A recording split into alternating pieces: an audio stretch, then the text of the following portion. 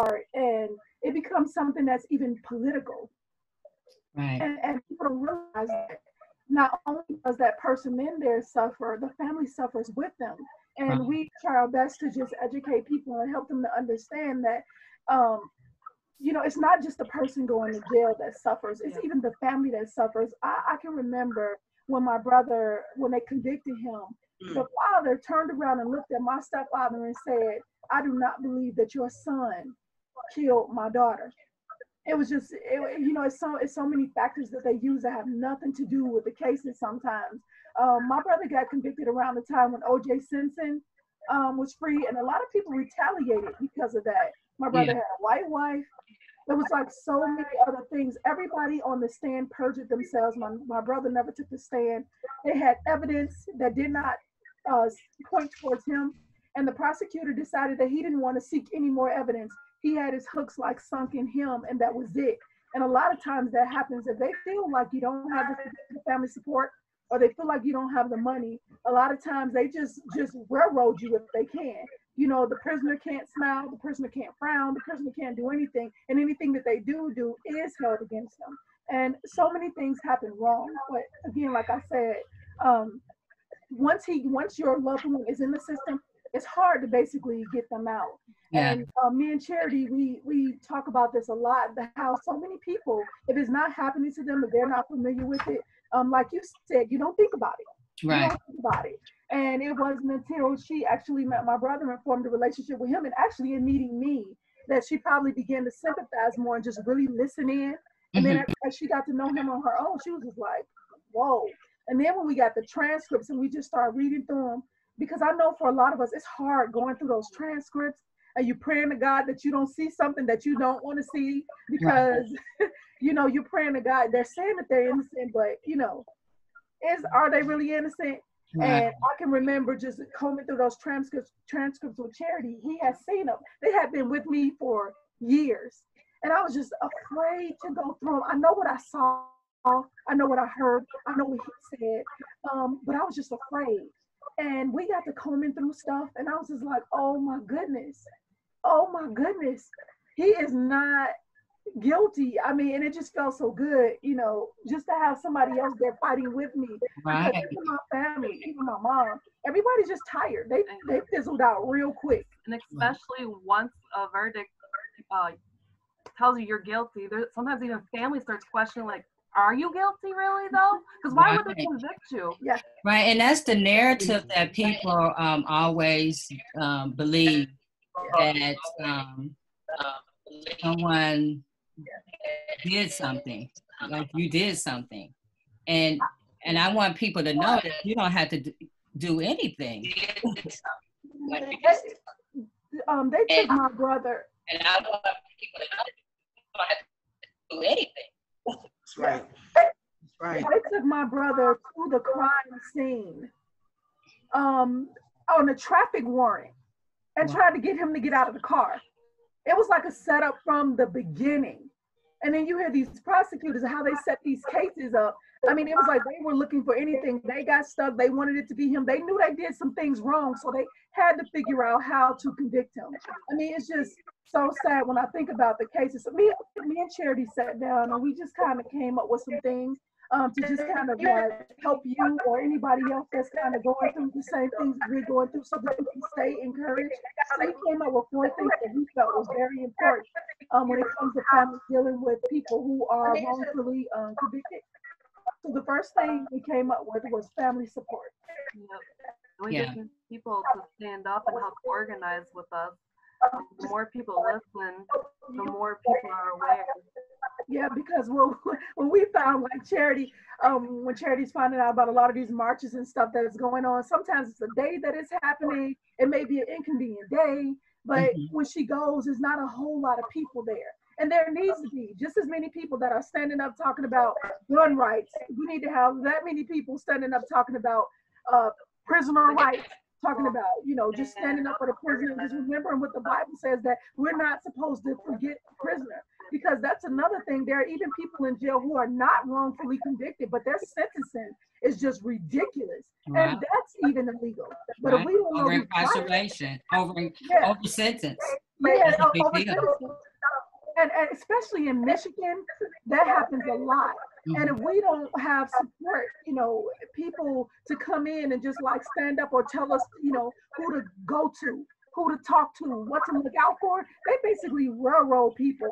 So it's important that even us that, you know, we stay connected and keep each other encouraged because when our loved ones are doing time, it's like we're doing time too. I got cheated out of a whole brother. That's like Right. my brother is my heart. The rest of my brothers are out, but this brother is still in there. He didn't even have children. You know, it's like Right. it's it's hard, and we need each other. When women are in jail, when men are in jail, we need that type of support to keep us going. I remember telling my brother one time, I was like, "Man, I wish you were dead. It would just be easier if you were dead."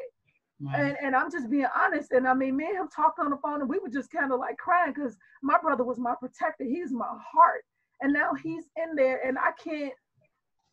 I don't have the resources to, you know, and so meeting charity, having somebody to fight that battle with me is just great because my parents and a lot of people they done they done went their own way. So I feel like I'll be, and now my brothers, he's in the battle with us now. It's been a long journey. So that family support is important. Um, and making sure that we go to the rallies and we support each other, even if there's not any family support. I don't care if a person is guilty, they still need family support. We got to Absolutely. behind each other, make phone calls, say, hey, are you going up there? Do you need somebody to go with, with Right. you? Can I check on you just to say hey and see how you doing? How your loved one is holding up. Okay, can is it all right if I write your loved one? Do they need anything? Because all the times we don't have money all the time. But Right. maybe you do have some extra cash you could throw to somebody else just to keep them encouraged. Okay. So that was the first thing, family support. The next thing is um, just making sure that you know who your local politician and, and legislators are. Absolutely. So get to know who your state prosecutors are, who those public defenders are. A lot of time they are overworked. So it's important that if we have information on stuff, we can help them out and get information to them. Um, get to know who the judges are inside of the communities, right? Get to Mhm. find out who those judges are and what their records are. Because a lot of times when we're voting for people, we don't know who the judges are. So we get this, we we we get the um the ballot and we're trying to pick people who look black or look like somebody of our ethnicity, somebody that we think will be fair. Oh, this seems like a friendly name, so let me pick them. But we don't know their records. Right, and that's um, something we're going to talk about later on about the judges. That is a big deal. We have to um, Google the. We have Google. Google these people and learn their records. Any. And, And uh, Yeah, and then the other thing that we have, and Charity's gonna go on to the next one, but the other thing that we have is finding out who the local officers are inside of the community. Because you will be mm-hmm. shocked at who will help your case. Because sometimes these officers they don't want to tell on each other or talk about somebody else's case, but you will be surprised at who will help you out or give you information that Right. you need to know, maybe some laws that you need to know. Also finding out who the community leaders are. Because there mm-hmm. are a bunch of support groups, things that I didn't even know about because my charity has been so involved in this fight yeah, I, I've been finding out so many things that I had no idea about. And also getting to know your neighbors in the community because Yeah. these are people that can step up when somebody does come in and try to convict your loved one. You need that support. So start talking to people and letting them know what's going on because you will be surprised. I've met so many people since living in Michigan. I'm from Illinois. Um, I didn't know God was going to bring me back to Michigan, but I know it's all for a reason. But I've met so many people now who have now decided to fight for my brother. That's the right party that can help us. right. So, um, Charity, you do number three. Number three, we just need to understand the law and we need to, if we see something, we need to say something. Yes. That's everybody has an accountability here. Everybody, our neighbors, our community, everywhere. Um, if you have time, sit in on cases, take notes, learn what they're doing in our court systems to these people. Um, look up cases. Um, Yeah. Go to local libraries, educate yourself on what you can do to help familiarize yourself with the state law Yeah. and um, be a voice. Yeah. Because Yeah. so many of us, we don't all know, and it takes a lot. You know, when you just have one or two people trying to fight for one person, we need community. We need our neighbors. We need our our people in our states and our counties getting together to help. Yes. And then the last thing that we have is just to remember the prisoner as well as the victims, because that's the other side of this, right? There was a young lady in my brother's case that lost her life. She has children. Right. She had a family. And and sometimes we can't be so involved or, you know, so into I want to free mm, you know my brother or my loved one that I, I disregard that other person. Somebody's life that's taken. And I pray that one day I am able to sit face to face with her father or her family and talk to them like you know my brother did during the sentencing. And he was like, I am I am so sorry. You know, that's those kids lost their mom. Somebody is a victim in this, and um, we can't forget that. You know, we can't forget about forgiveness and love and just extending those things because when we extend grace and mercy and we let go of that anger, God in turn blesses us. And I believe that this is a big lesson in forgiveness. Like you said, you lost your son is in there. Yes. Oh, man, when I hear my brother talking about forgiveness and loving people, it just softens my heart even more, understanding that those people behind bars, whether guilty or not guilty, they're human beings, Right. you know. And And so forgiveness the- is the key. Uh, it helps us get moved forward, no Yes. matter what's going on. So thank you. I thank you guys so much. Uh, I really appreciate your story. Um, I want to go next to Dena. Hi, Dena. Hi, Jay. Can can you guys hear me? Okay. Oh yeah, we hear you well. So just okay. Well, um, good evening, everyone. yes, tell us about um, your um, wrongful conviction journey. Okay. Well, I just want to start out by saying, in regards to what you stated earlier, Jay and um, Charity, I totally agree with those things that you said. This has been a very hurtful, very trying time for me. Um, very difficult. Um, on this wrongful conviction day, which I had never knew about a wrongful conviction day to just several months ago. I'm still trying to learn and be more educated on this journey um,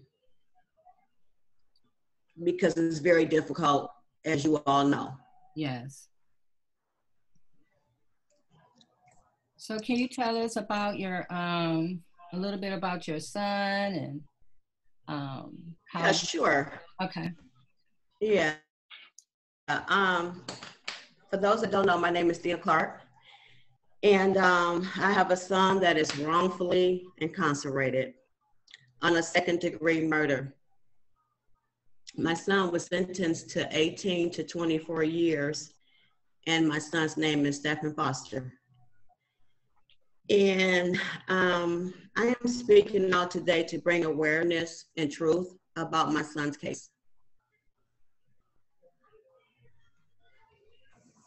there is many and so many flaws within my son's case. And the number one is the misidentification. Mm. Um, there was lies of uncreditable people that spoke against my son wrongfully.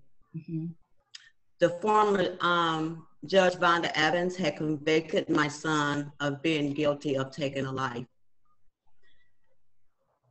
With no evidence supporting the charge, only misconduct from the detectives that engaged in unethical practice.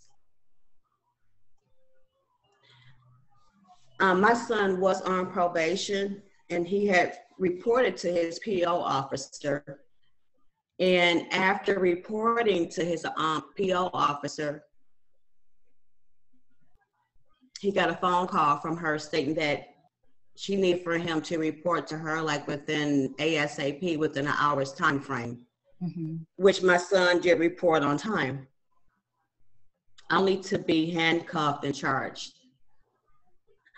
To a murder that had took place over a year prior, back in 2015. I just want to ask and say this. If you committed murder, would you report? Oh no, no. So, um, this took place four years ago at Frank Murphy, and that's where the corruption started. Oh, Um, there was a man that told the DA that he saw my son standing on a corner but had no supporting evidence putting my son anywhere in the area of the crime. Mhm. And there was no weapon. So in closing, I just want to say that how does one get convicted? I just want to bring awareness that the criminal system is broken and it's unfair and it's unjust. My heart is heavy. I am hurting. My son is hurting. And we need some justice. And so does the family and the mother that lost their son. Mhm. I am speaking out on this wrongful conviction day because it's our truth.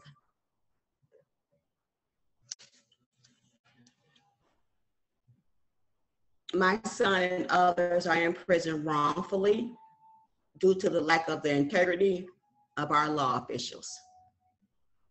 And like my son stated, the day when he was sentenced that the system sent an innocent man to prison.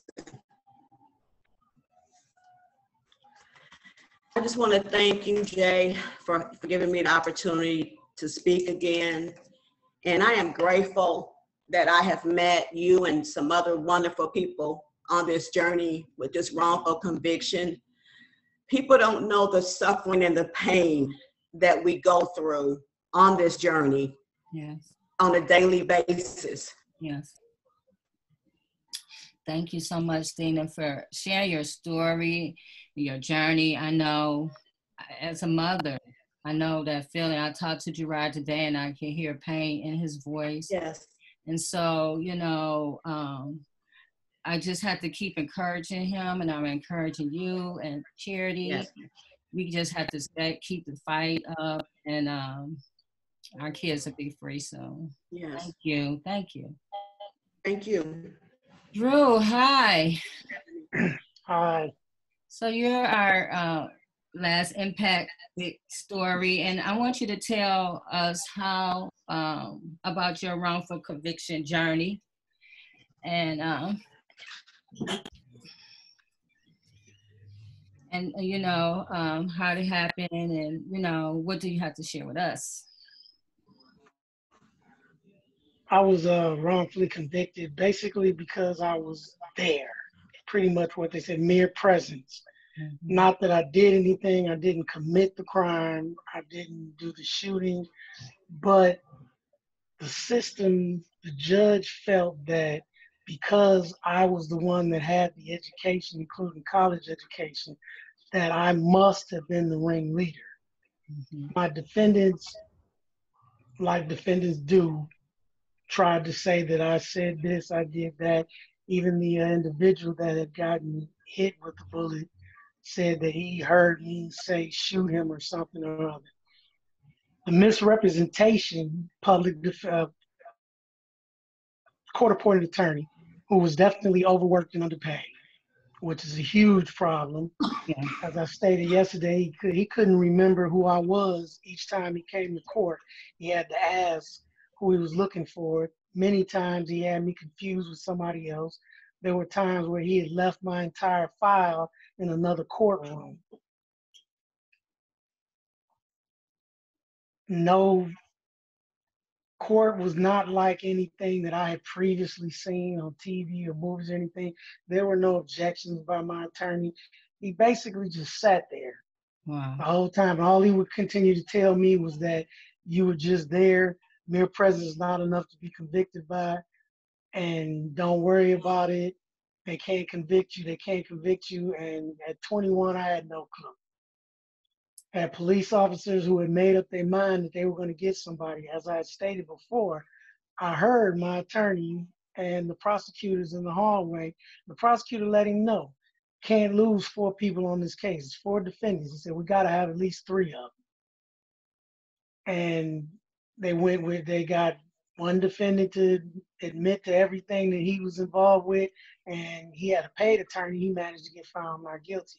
They convicted the shooter, they convicted the young lady, and they convicted me basically as accessory, although the crime says three counts of assault with intent to commit murder.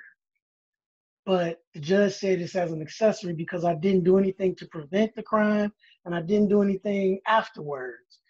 Wow. I don't know what they exactly expected me to do afterwards, which resulted in me spending 14 years in prison.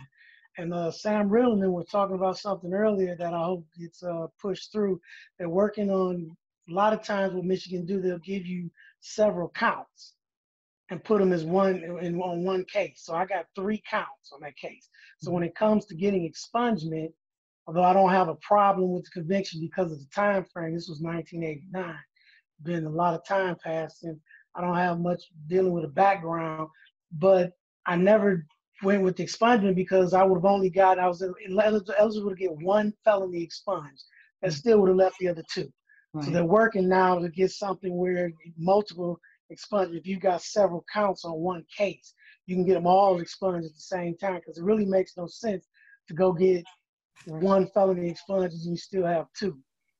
Right. I think uh, uh, um, uh, I'm, I'm sure Hakim will talk about this a little bit later. Um, I think it's called One Bad Night or something like that, where um, um, all of those issues from that conviction would be uh, expunged instead of just one thing. So we'll talk about it a little later, I'm sure. But yeah. Um, um, wow. But So- the way the, the the, the the way the system play, I mean, you you you're not a person to them. You're case number. You're goal. I mean, if it's a serious crime, children involved or something, they want to get somebody. Right. A lot of times, whoever they can, whoever they come up with, they roll the dice, and that's what we we got you. We're gonna make it you some kind of way. And when they when they in there investigating and talking to you, I mean, I could hear them talking to the other defendants. They gave the young lady, I mean, they bought her McDonald's and pop, and they talked to her and they told her how we know you scared. They she was having a conversation before we got arrested. We were at my house, and I could hear her upstairs on the phone. I thought she was talking to her mother. She was the police were at her mother's house, and she was talking to. And they were telling her. She told me later. They were telling her, you know, we know it's not you. We know it's them. It's the two guys. We want to get them guys. Just help us out. Tell us where you at. And it's like they they play us against one another, Right. and we may agree because you're scared. Right. You know, if it's a woman that has children, they throw threaten you with, you know, you're gonna lose your kids, you're not gonna see your kids, they're gonna take your kids from you gotta do it. And that's what I tell them all the time. Everybody talk about, you know, my homeboys, you never tell them. Look, once they get you, that 48 hours kills me every time I watch it because you see how quick people will turn. Right. You can't get squalls. I sometimes I think I was dumb not to take it. They offered me a two to five. The only condition was that I made sure that I convicted the other three. But somehow my mind said, no, I'm, I'm not going to help y'all convict anybody. And he was like, you get a two to five, you probably do eight, nine months. Now, what they do now, because it's such a money grab, they will send people up to Jackson just to get a number, just to get a number. I've seen guys come through, just come up there and spend less than 48 hours up there. They just go straight to a parole camp. They just want them to get a number so they can get that get that body count, get that money for it. And you spoke about it, it's privatized now Right. more so. It's really a money grab now. It's all about we represent dollars. It's just a modern day slave system. Yeah, you're right. So I want to bring um, Reverend Ed Pinkney and Trische and Hakim in on this conversation. Um, thank you, Drew. Um, as you listen to these stories, what goes across your mind? Trische, Hakim, Reverend Ed Pinkney. Because of Absolutely. corruption, that's what goes across my mind. You know, if you think about in the state of Michigan, 48.9% of wrongful convictions are due to prosecutor misconduct. Yeah. How does it start? Out of all of your stories, I heard one common theme the officer. So it starts with the officer drumming up these bold charges because they just want to get somebody. Right. Then they take it to a prosecutor who's overzealous and who thrives on a conviction rate. And there's a prosecutor I know, I won't call her name, but she celebrates, I have a 98% uh, a 98% conviction rate. And I asked her, I said, and you're celebrating that? I said, and I hope you don't have any wrongful convictions under her belt. Well, come to find out, she does. Right. You know, so it's all about a number. It's all about the wrong thing. It's not about justice. And especially when you think about African Americans, come on now, the Constitution declared us three fifths less of a person, right? And Yeah. so they continue to treat us with such disrespect. And I, I had a conversation with somebody the other day that said, while we were fighting for civil rights, really we should have included or been fighting for human rights. Right. Because as long as these individuals do not see us as human beings, they will continue to treat us as less than. And I just want to say to you ladies, I love you all. Um, you know, we've been fighting for a while together, and we will continue to stand arm in arm against this system that acts like it doesn't want to bring us justice. So we will continue to fight. Absolutely. So, um, Trische, while you're on here, introduce yourself. I'm so sorry. You know what? I get so passionate. you know when it's about wrongful conviction because man, it's just people are suffering. And I think it was Mioshe and um, Charity that said it. When you convict someone, you convict the entire family. And so, you know, that's my passion comes from. But my name is Trische Duckworth. I am the executive director and founder of Survivor Speak. And wrongful conviction is one of our top um, platforms as to us wanting to bring awareness as well as bring families together so that we can all support one another in this fight. Okay, thank you, Trische. So I want to go next to um, Hakim. Could you um, tell us your thoughts, introduce yourself? Good evening. Good evening, everyone. Uh, thank you all for joining. Um, unfortunately, I, I had to mention this that I'm monitoring it live on Facebook, and it's the feed is very interrupted. I have it on two different screens, and right now it's not even playing live. Um, so we have some little technical difficulties. Perhaps Jay, you can check your connection and see is it uh is it fully connected and, and, and straighten that out so that no one is disconnected from hearing us. Okay. Um, nonetheless, uh, my name is Hakim Crampton. Um, I work for Just Leadership USA, a national criminal justice leadership and advocacy organization based in New York. Um, I myself am wrongly convicted. I spent 15 years of a 45 year sentence uh, uh, from 1991 to 2006 of a wrongful conviction.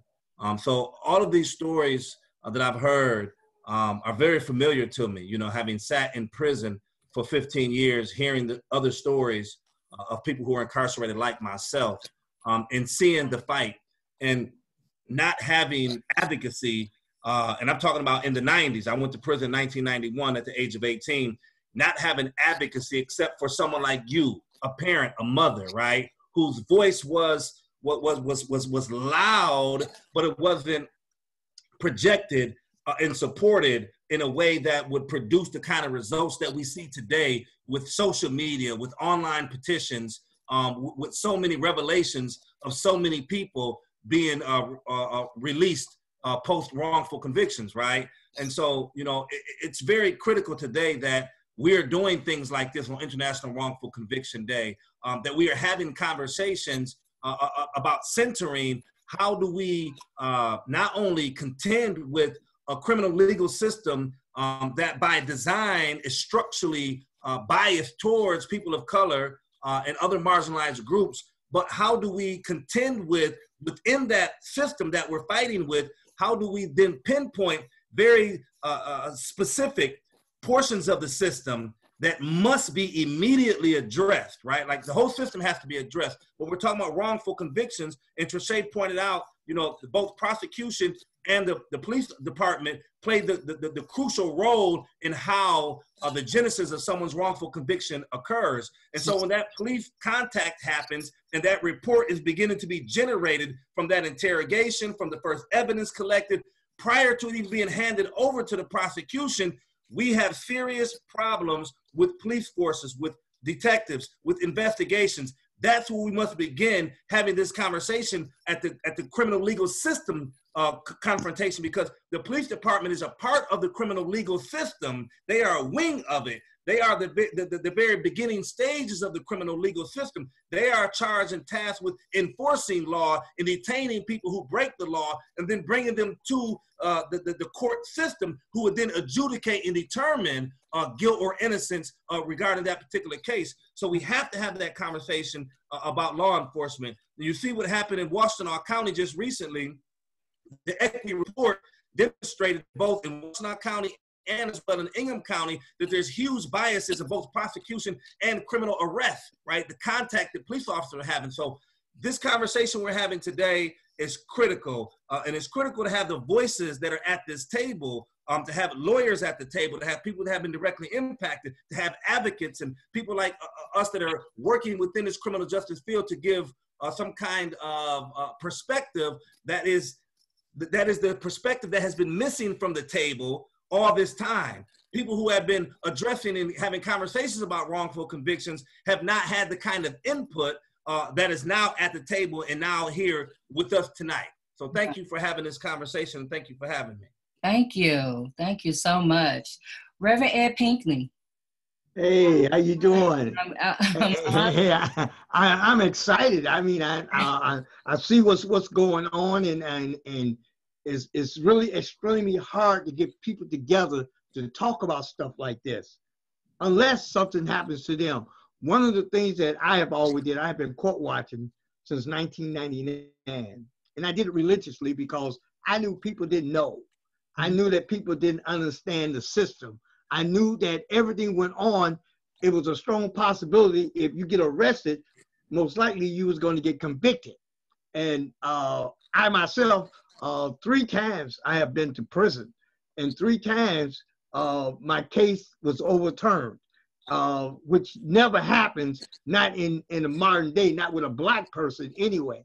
But I, but it's it's the case where you know what I used to do. We used to have classes every Saturday for about ten years, trying to teach people uh, uh, about the law so they can be prepared. A lot of times, people don't get even involved with the criminal justice system unless something happens to them, right. and then it's too late. You, you know, you you have to be prepared and know what you're doing. Even when you go out and get you a paid lawyer, most of the time these paid lawyers, all they want to do want you to do is plead guilty. They don't care nothing really about you.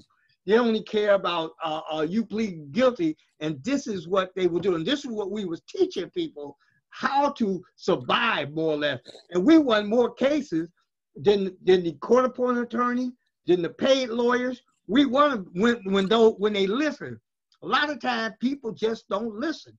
They don't want to hear. They believe the white man, or they believe you, and you're supposed to know. But this is what we do and how we did things. And uh, uh and, and and believe me, what we have to do now, we have to start educating our community. You yeah. see, the more we educate the community, the stronger we get. Yeah. And that's how we got strong down here. See, we're we're not a pushover when it comes to that court system down there.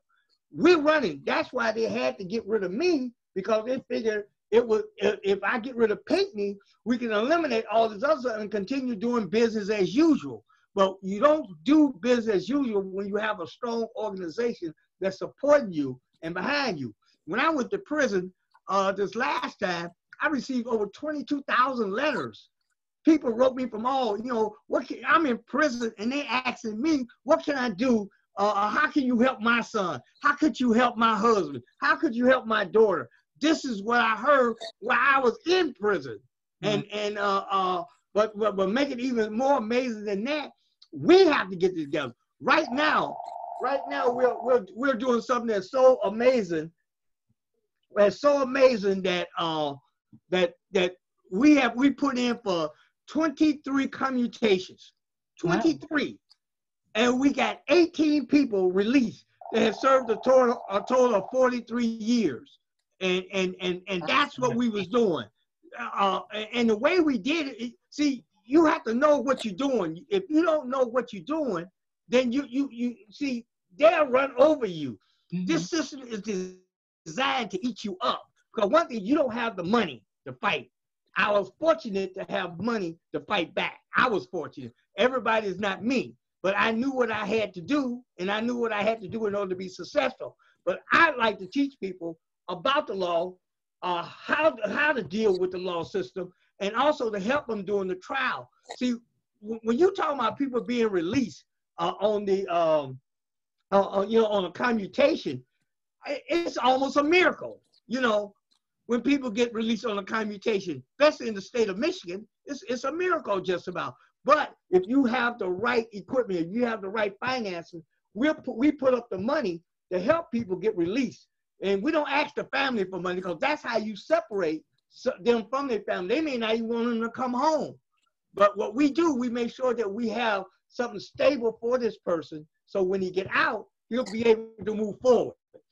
Yeah. And that's why it's so important. We're working on a case right now. This guy has done 45 years in prison.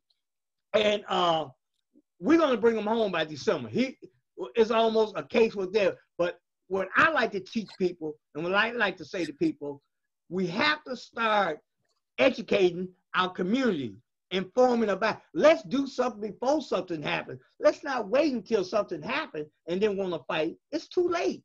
Right. Fight before things happen and have a strong union. Like the girl that lives next door to you, she might say, "Well, nothing ever going to happen to my son. Nothing ever going to happen to my daughter. Nothing ever going to happen to my husband." She might say that, you know, but in reality, she never know. I'm gonna give you the one quick thing. Then I'm gonna, I'm gonna, I'm gonna let you. Let, this one lady, she had two sons. One had just got his grad, he had just graduated from grad school, got his degree. She said, "Oh, my son ain't and the other was about to graduate from college. And we was picking in the courthouse. And we said, well, come on out here and pick it with us. She said, oh, I ain't gonna, I am, I never gonna be, you know, do none of this stuff. I'm never gonna be, uh, uh, what called, my sons ain't gonna, ain't nothing gonna ever happen to them. And guess what? Both of her sons ended up in prison. And she said, and then she came and want to apologize. I said, well, you don't have to apologize. This is something that happened. Never, never, ever say that it can't happen to me. Right. It, you know, and, and, and, and believe me, this is what we have to teach people and educate them because you could be driving home by yourself and they playing a gun in your car saying that you killed somebody, they'll go into prison. Yeah, it can That's all they need.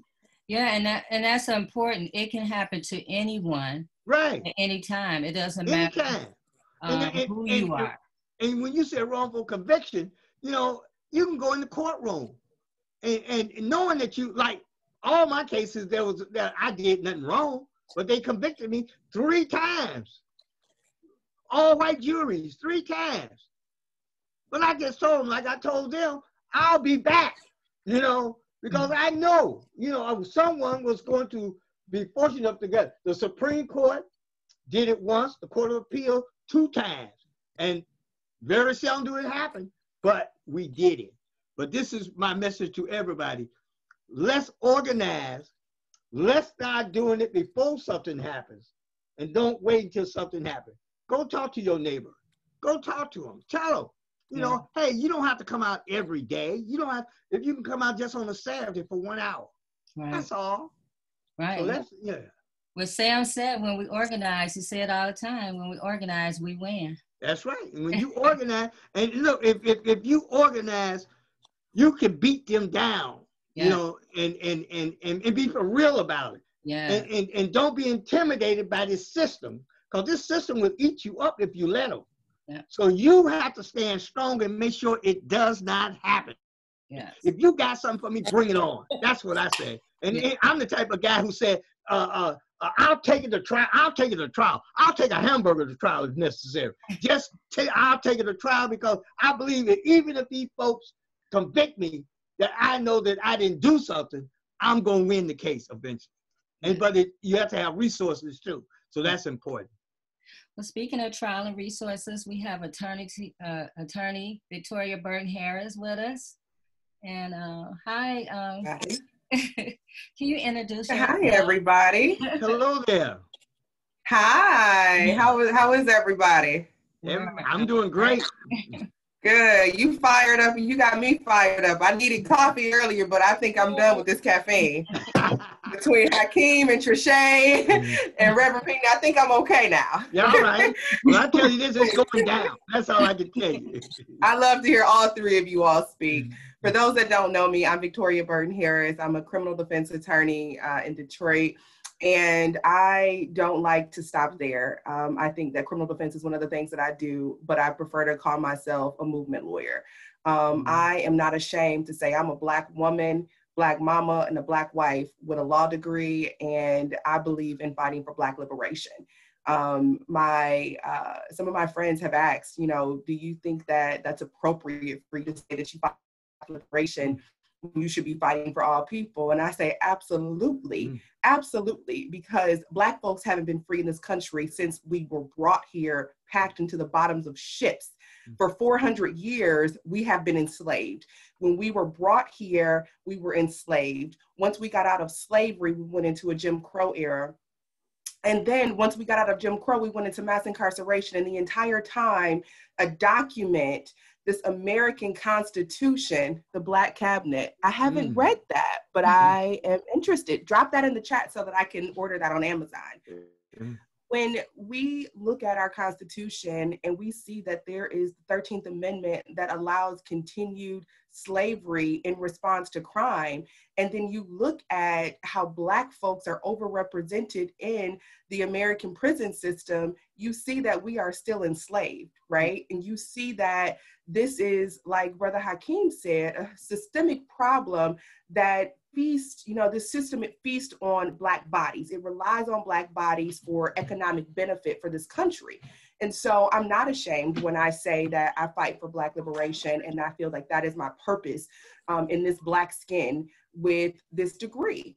Mm-hmm. And mm-hmm. I, I implore people to examine where we've been before mm-hmm. we devise a plan on how we're going to get to where we want to go because you have to know your history. You have mm-hmm. to know that the history of police in America was to control Black folks. Mm-hmm. You have to understand that you will never see anything different from police unless we're going to get to a point where we no longer use police for the ways in the ways that we use them now we're going to continue to have those problems so i don't expect more from the police mm-hmm. i do expect more from our prosecutors. Our mm-hmm. prosecutors are the gatekeepers to our criminal justice system. So if police, because we know that they will lie in reports, we know that they will do half assed jobs in their investigations. Lawyers, when I take a case as a defense attorney, I just got um, a capital murder case, first degree murder.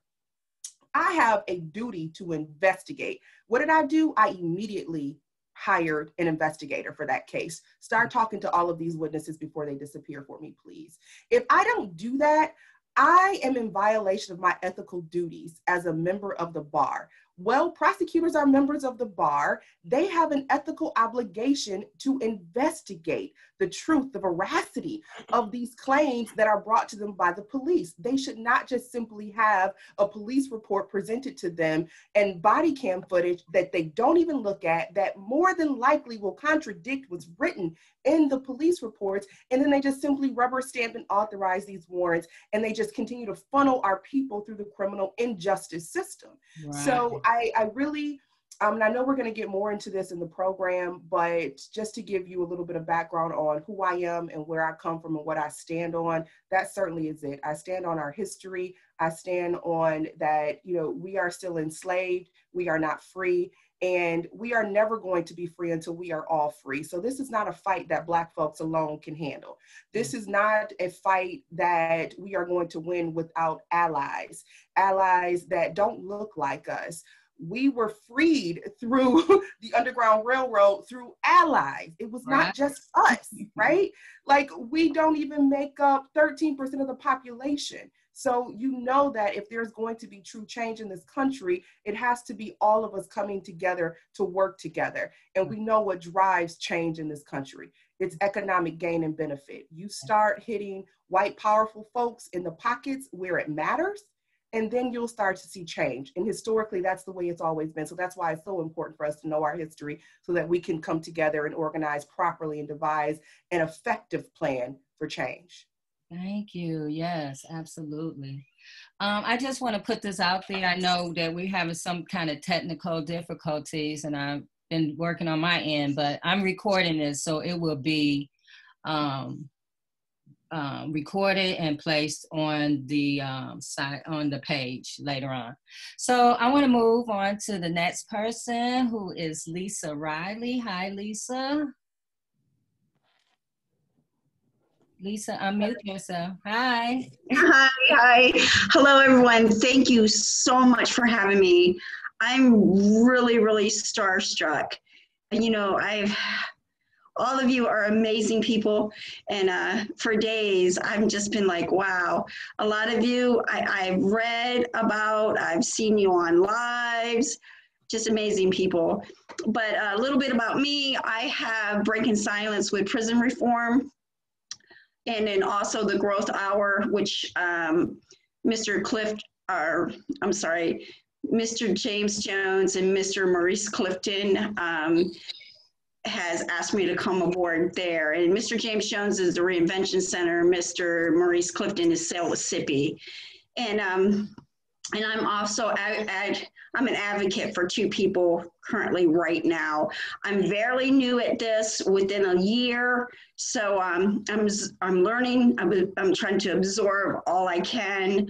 Um, you know, I personally get a lot of flack from a lot of different people because you know I. Here's my thing. Um, I have beautiful children and grandchildren and a husband of color. And it's very important to me that no policeman kills my grandchildren. It's, and I know that's possible. And I need to, I need to jump on board and I need to do what I can do to be there for them, to educate them. And I can't do that unless I'm educated myself. So, um, the Reverend, please, thank you for, for the words of education because that is so important um, for all of us. And, I, and I be, truly believe in that. So, you know, I, I really believe that if we come together and, um, you know, and work together, we can do this, we can make changes, and we have to because we're all human beings you know, and that's the bottom line. We need to be treated as humans. Yeah. And, uh, you know, on, on a daily basis, I get people in uh, in my messenger and sending me message pleading to help them because there's uh, loved ones are being abused, they're being beaten, and uh, and a step further, I have a mother that uh, federal prison killed her son, and um, you know, and there has to be a change. I, I don't have the answers, but I, am hoping to continue to uh, learn and grow and, and take something from each and every one of you and apply that. So uh, thank you so much for allowing me to be here. Thank you. Yeah. Thank you so much, Lisa. So the next person I want to introduce is, um, well, I want her to introduce herself is Ally. Um, come on, Ally, come in. Are you, is your mic on? Hi. Hello, thank you for having me. Uh, my name is Ally. I am an activist with Michigan Liberation, also Accountability for Dearborn. I'm in this fight because what is happening to Black people is not right. Also in this fight because a woman's body is not a group discussion. And I feel like what is going on in this country, it is, it's just the American way. As sad as that sounds, this is what America has been about. There's no morals, it's all about just putting people behind bars. Mm-hmm. And I'm tired of seeing so many, knowing so many people that know somebody that's in jail or had a family member that came out of jail or like someone that got arrested. It's just way too common and it's not right at all. And as well as uh, qualified immunity, the way it it allows so many people to get by with doing so many bad things is unbelievable, and it has to stop. Yes we're at a place where right now we have the momentum. We yeah. have to use this momentum. People are coming together now because everything, whether it's politics, whether it's, it's racial issues, uh, whether it's gender, people are coming together. But we have to remember that in, there's not going to always be times when we had a spotlight. It's going to be some pretty dark times in this fight, and it's not going to happen overnight. And mm-hmm. right now, while we have the momentum, we have to know that a lot of change is going to happen in this short amount of time or a lot of tragedy that's going to lead to the change. You know, there's decades that happens in weeks, and that's where we're at right now. Yeah. So we need to take advantage of it. Right. Thank you so much. And next, um, last but not least, Tia Taylor. Hi, Tia. I think you need to unmute yourself. You we can't hear you. Mm-hmm. Hi, Tia. There we go. Yeah. Hi. Tell us who you are and what you do and Oh, I just want to say thank you so much, Janice. I call you Jay Love, and that is definitely true. You have so much love, and for you to Mm. have such a fight in you during this time is so important. I am so pleased to be a part of this panel. Uh, I've been in mental health for, oh my goodness, over 30 years. I am a candidate now for a doctoral degree. And right now, I am sitting on a board um, for Flint, helping to change, looking at what actually began uh, the lead poisoning and the um, all the marginalization that has happened out in Flint, and for those children. And so I'm on a task force so that it doesn't happen again. But at the same time, I am standing behind you and everyone else 100% for wrongful convictions because all it has impacted everyone. I don't know any African American who has not been a part or had to deal with with this. And um, I was talking to my sons the other day, having twin boys, and having to talk to them early when they're two and three and five years old to prepare them on how they have to operate out in this community. And I'm at the point now where we should be saying, and not another one. right. No more. No more. Not you don't get any more sons, you don't get any more daughters. And I know that that is going to happen with us coming together and staying united, Yes. Staying united. And of course, edu- you know, they you everyone has talked about education and, and I agree. Uh, I stand with Malcolm X when, when they asked him if you had to do it all over again, what would you do? And he said, before I organize, I would educate, Yeah. educate the people. And, I- and I think that's where we are. So I appreciate this opportunity. Uh, and I know that we are ahead of the game more than we have ever been before. Yes. Yes, and and um I I'm from the understanding that those that's closer to the problem can help fix the problem. So that's why we're all here together because we're we're the ones that got the boots on the ground. We're living it every day. So I want to go into the panel discussion with everyone. Um, thank you uh, for those introductions. Um, let's talk about um, what is wrongful conviction, um, how did it start, and um, the history of it. And I want to start um, with Hakim. If you want to uh, start it off, just talking about um, what is wrongful convictions. Absolutely.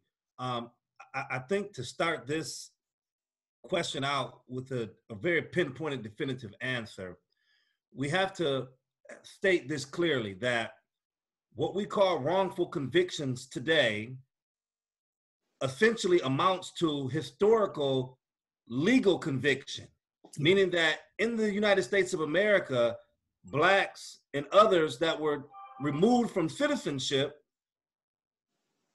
never had legal rights. So they never had the the full ability to contest charges, Mhm. right? So even when charges were brought that were true, whether they were true or false, it didn't matter from a legal point of view because black people had no legal standing to challenge accusations, right? So we have to put that in context to understand the criminal legal system and how it evolved to continue to create a system that processes uh, black bodies into the system Right. by a, a criminal legal prosecution system that starts with uh, an arrest, whether rightful or wrongful, African Americans still, even today, really have no real legitimate legal standing, which is why, for example, when you look at the criminal legal system, you have to have a bar, like uh, Victoria mentioned, you have to have a bar to practice law. So, Mhm. generally speaking, when you step into the court of law, you do not have the right to defend yourself. You have to relegate that or allegate that to someone else who has legal standing to speak for you in the courtroom. So all those things are critical when it comes to talk about wrongful convictions and the proliferation of black bodies and people of color in the legal system and why it- why it's, it's disproportionate. Right. So a simple definition of a wrongful conviction is, of course, when someone who ha- has been convicted of a crime that they were not actually guilty of. Mm-hmm. That is a wrongful conviction. And so, mm-hmm. like I said, placing it in the perspective of understanding that the legal system designed itself to really remove the opportunity for people to be able to really defend themselves, to to redress mm-hmm. charges. Um, it created a a, a, a, a, a system in which it's what we call a no-win situation, right? There's a no-win Mhm. situation. So oftentimes when we do encounter the, the, the legal system, even with an attorney, even with support and perhaps private investigators, and even with the truth on your side, we can find ourselves convicted of a crime that we are actually innocent of. Um, so hopefully that kind of gives a little definition because I, you know, as, as, as radical as I am in, in my philosophy and thinking, you know, um, it's critical for me to continue to remain consistently radical and, and, and, and reach into the sources of these issues and topics because too often we speak about them from a present point of view of how we're impacted by the present system but the present system in itself is an antebellum system created in a way that we that we call broken today but it was created and designed to function in the way it functions today. So it actually functions adequately successfully producing mass incarceration it's keeping people enslaved in America, and mm-hmm. so it's functioning correctly. And we have to figure out a way to break that system. Mm-hmm. Tia? Mm-hmm. Yeah, you know, I I was looking at the fact that um, with with wrongful convictions, the thing is is we have to know that we have political power, and we have got to get to these attorneys, to the prosecuting attorneys, and change what is happening because we stand as the person who is hiring. We actually hire the people to kill us. Mm. And we don't look at it like that. Mm. We are putting people in office. And, and there are a lot of times people are voting and putting people in office and they're just going willy-nilly. I, I never I have talked to people sometimes and I said, Did you even research on the person? And they don't research. And that's why we have to speak. We have to we have to vote. Not only that, but we have to educate the people so they know who to vote for mm-hmm. and and let them know what is the report card on that person what are they doing to our community are they are they beneficial for us or are they coming after us Right. you know so we we can make a change Yes. Reverend Pinkney, can you um, talk about the history of wrongful conviction? Reverend Pinkney? Trische?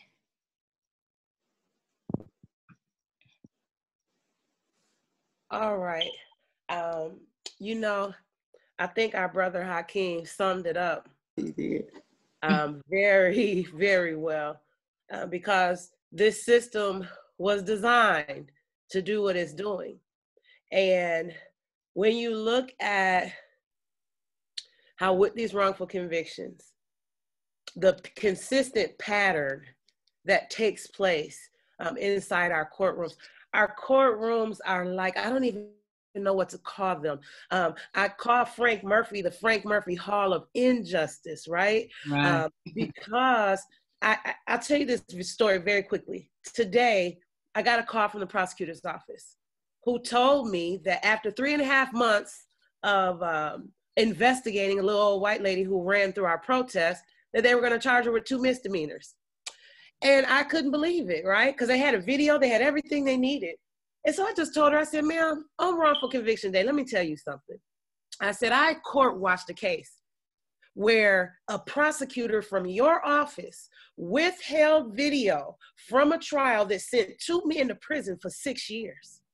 The retrial comes, now the tapes pop in, and one guy is released and the other guy is still there. You tell me, what are you doing for the people? And she said, Oh, you're hollering at me. I said, No, I'm not hollering at you. I'm holding you accountable.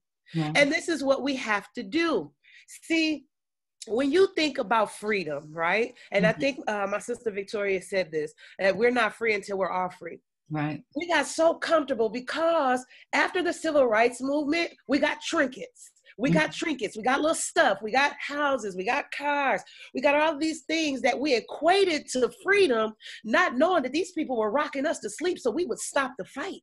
Mm-hmm.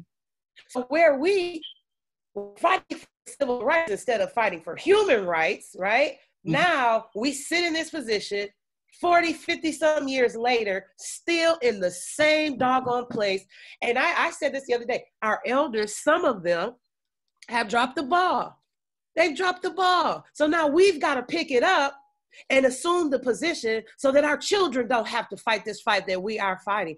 And I'll tell you something, it is something that can be done because, like our sister Tia said, we have power, right. but we don't understand it. Right. We have the power of our voices united. We have the power of our vote.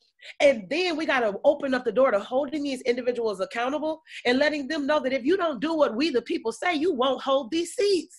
Right. But we got to get to that point where we pressure people enough to do the right thing because they're not going to do it just because it's right or they would have done it a long time ago. Victoria. Again, I'm going to take us back to when we first landed here. Yeah we were killed and hung in streets for people to stare. If it was even said that we looked at a white person the wrong way, if we didn't answer to a right per- a white person the wrong, if we didn't answer the right way to a white person, mm-hmm. wrongful convictions have been happening since we got here. Yes. Our lives have never been valued and so when you look at how we lit, how we were lynched, and we're continued this day, you know, we continue to be lynched. Yeah. Um, there are, I can't remember his name, but I remember I cried so hard this summer when a man was executed for a crime he didn't commit, and everyone knew it. Everyone knew it in that state that that black man didn't commit that crime. Mm-hmm everyone across the country fought hard for him to no avail. So when you talk about the history of wrongful convictions, you got to go all the way back to when we got here, yeah. the days of lynching. And then you have to acknowledge how we are still lynching our people in this system. Yeah. And no, it's no longer just white folks. Mm-hmm. Someone said, I think it was uh, Reverend Pinkney, that lawyers are are participating in this mm-hmm. and it's not just prosecutors mm-hmm. it's defense attorneys it's disgusting if you are either appointed to a case or retained on a case to immediately encourage your client oh just take a plea yeah. no baby no yeah. i tell my clients a whole slew of rules when they come in my office to interview me i tell them i'm not your mama i'm not your priest and i'm not god and I don't care what it is that you did or did not do. That's not my job. Mm-hmm. My job is to ensure that the government proves beyond a reasonable doubt that your freedom should be taken from you. Right. And that's all I'm here to do. And I'm not going to do that by asking you on day two of representing you as your lawyer, oh, just take a plea. Right. I don't even know what the evidence is that the government has against you. Right. I haven't even began to poke holes in the case that the government has against you.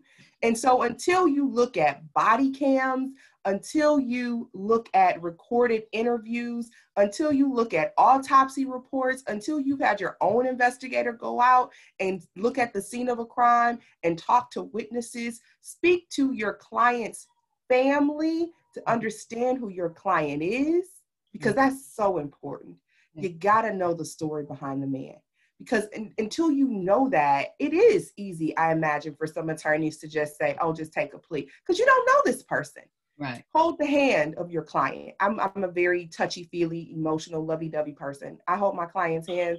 If you Google me, you'll see there's a photo from some news media outlet where I'm walking out of Frank Murphy crying with my client holding his hand.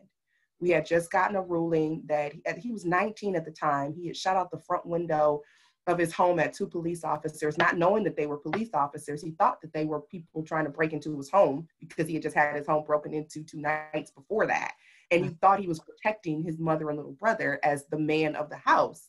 And the uh, judge in district court saw fit to bind my client over for trial after a preliminary exam where officers took the stand and it was very clear that this should not have been bound over to a jury. Um, and I think the judge even knew it and was just trying to toe the line. I have respect for that judge. I just did not agree with that decision. And I was angry about it. And when I get angry, I cry. And my client was distraught and fearful. And so we walked out together, sharing that pain and that experience as best we could because I'll never walk in his shoes. And I know that. And I don't take that for granted. So I try to get as close to the people that are living with that pain as possible so that I can understand the gravity of my, my actions and I take them seriously. That is how you start to combat from where I sit as a defense attorney wrongful convictions by not asking the client to begin with to roll over and plead guilty to something that they didn't do. Now, does that come with a price sometimes? Absolutely. Absolutely. And that's, it's unfortunate. It's unfortunate that I have to tell my clients if we don't take this deal, which I don't think is necessarily a good deal, then the other option is to go before a jury who is not possibly going to be a jury of your peers. And you're taking a risk. And you may be convicted. And that conviction may stand until I can get you in front of a Court of Appeals panel mm-hmm. or in front of a Supreme Court panel to fight the case using the law there. Because we know that this system is upheld by people. And we know that you won't always, like Reverend Pinkney said, you won't always win at the trial level. And, you know, you can't control a jury. Um, I will never forget how shocked I was. I represented a pregnant uh, environmental activist some years ago. And I just knew that the jury was not going to convict her. She was charged with um, some gun crimes because she pointed a gun at another woman who was trying to run her over with a car and her mother and her two year old child were right there on the scene with her, all in danger. And she didn't fire her gun. The gun didn't even have any bullets in it, she said. She simply pointed the gun as a deterrent so this woman would stop attacking her family with a car, vehicle. Right. And she was pregnant when we took that case to trial. She was seven months pregnant. And I just knew, I just knew that that jury with some black folks on it, younger folks, older folks, that they would not convict her and understand her fear as a Black mother and mama in that moment. But they did convict her. And I cried in that, cried that day.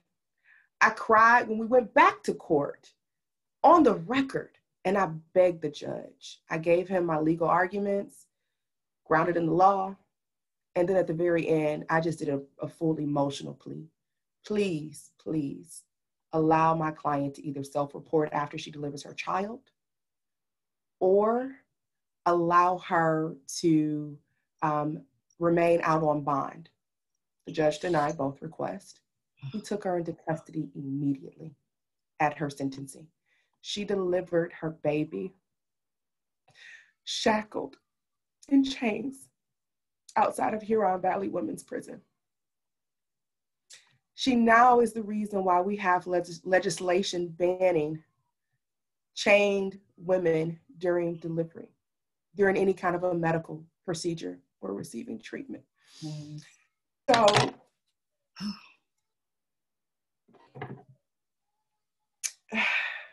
when I tell you that for lawyers, and I don't know how many lawyers are watching, I don't know how many people are watching that intend to go to law school. I know Trische certainly does. You can't be afraid to get too close to your clients and their lives and their stories. You got to know when you have someone coming into your office and you ask them where they live that you got to ask where they've lived for the last 10 years. Because what you may see is that they've in the last 10 years had 10 different residences. That tells you that there's some instability in their lives. That tells you that there's possibly some unresolved unaddressed trauma that tells you that whether they did it or not you got to dig deeper and find out who they are and why they are the way that they are right. that will compel you to fight your ass off, whether they're guilty or not. Mm-hmm. Because sometimes our people don't even have a fighting chance from the start. Mm-hmm. And I firmly believe that even if people commit a wrong act, that they don't always deserve to have their livelihood and liberty taken from them. And I certainly think that the worst thing that anybody working within the carceral state can do and support is to play a part, any part, big or small, in the incarceration of an innocent person. You hurt everybody.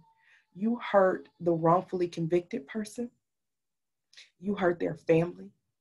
You hurt the victims who will never seek or receive true justice because the system has decided to set sights on somebody that didn't even do it and they just want that conviction. You hurt the family of that victim. You hurt the community at large. Wayne County has more wrongful convictions than all other counties combined. Yes. Michigan is a problem when it comes to wrongful convictions. What are we going to do about it? We can't just put it on prosecutors. We can't, I, I told you, I, I dismiss the police. I have no hope for them. I know that I can control what I do in my role as a defense attorney and as an advocate. And that's that's what I've chosen to do. And I have to have a firm handle on our history in order to do it.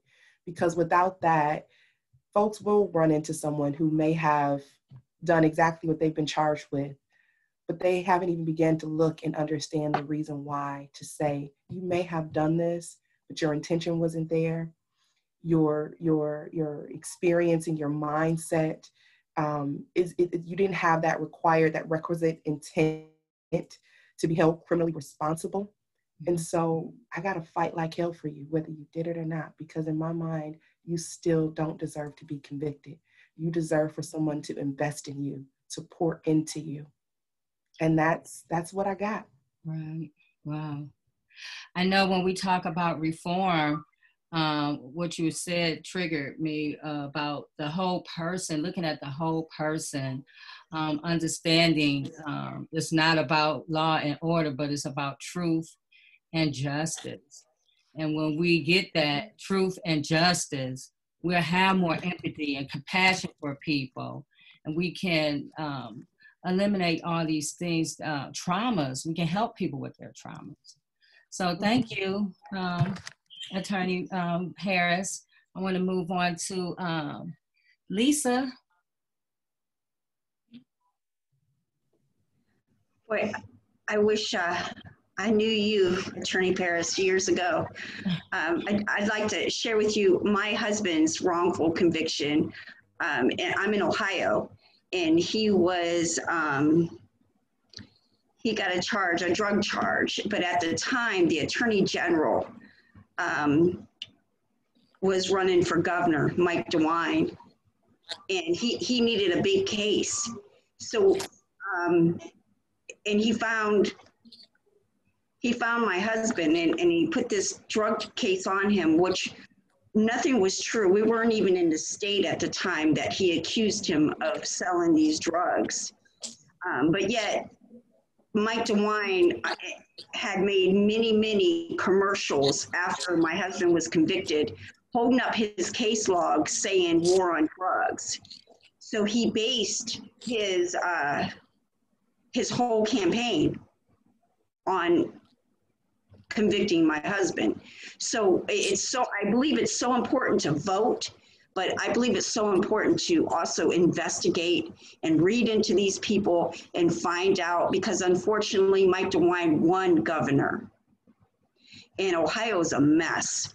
You know, um, yeah, I'm, I'm sure you've seen judges are coming out left and right, um, being, uh, we find out they're uh, taking bribes and uh, you know and, and it's it's just happening all over the place attorneys and you know so um, mike dewine right now is being investigated.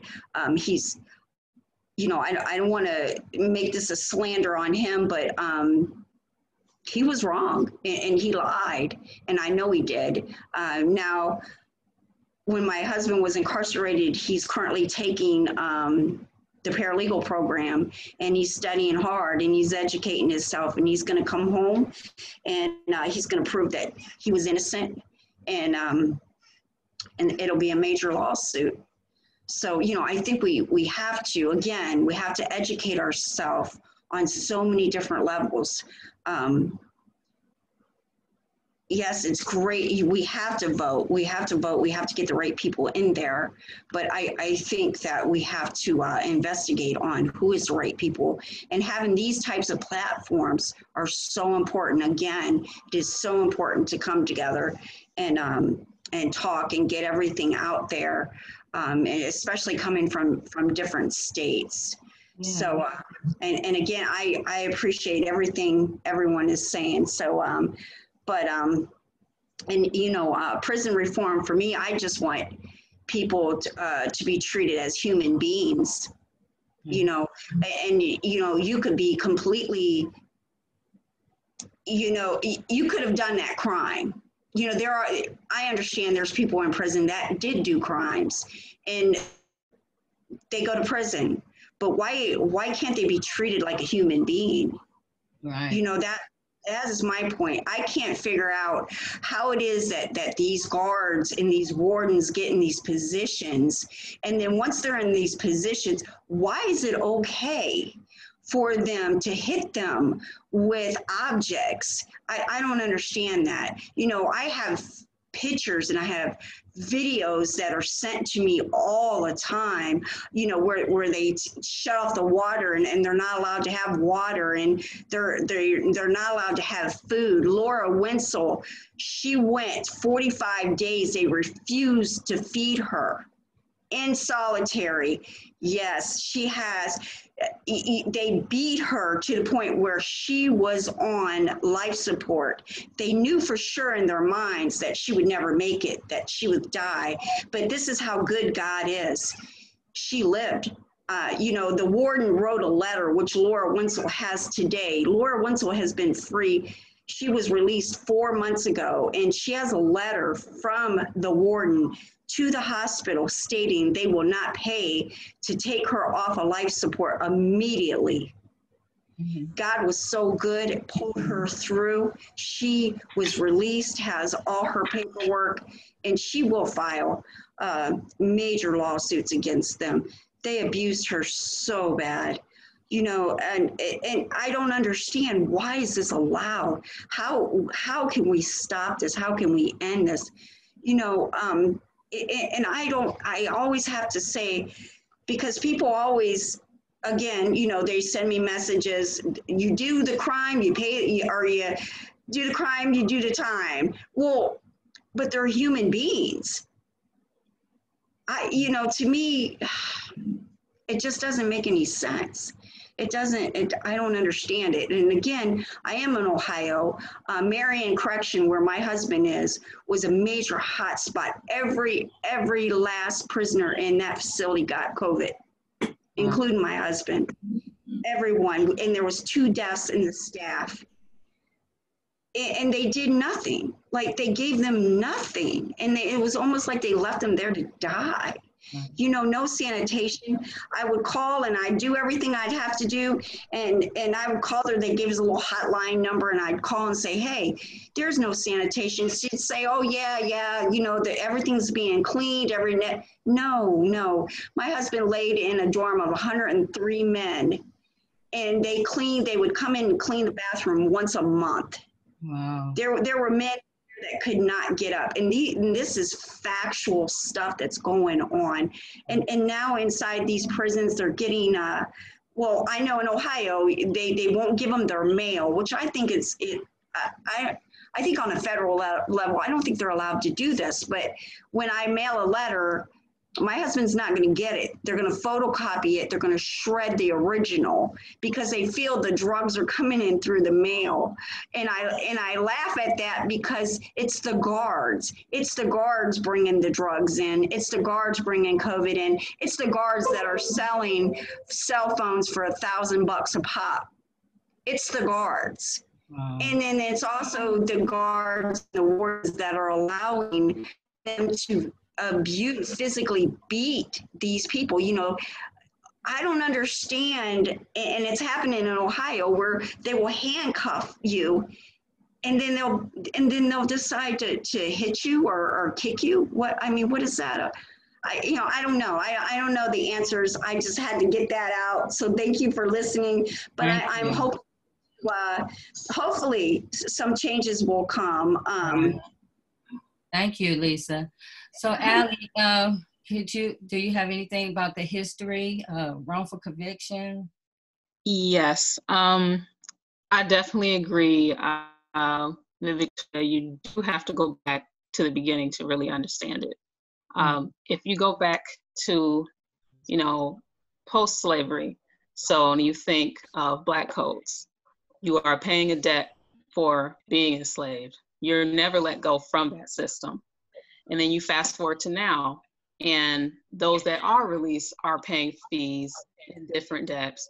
And when you are wrongfully convicted, you're not everybody that is wrongfully convicted is compensated, is one. Mm-hmm. Some some states compensate people more than the other. Uh, only what uh, there's still 15 states that haven't made it where people are compensated, and you don't get social services. Mm-hmm. There's only like one of those I know about. So it's like they're setting you up for hopelessness. Right. Behind bars, you it's it's you're there in a way.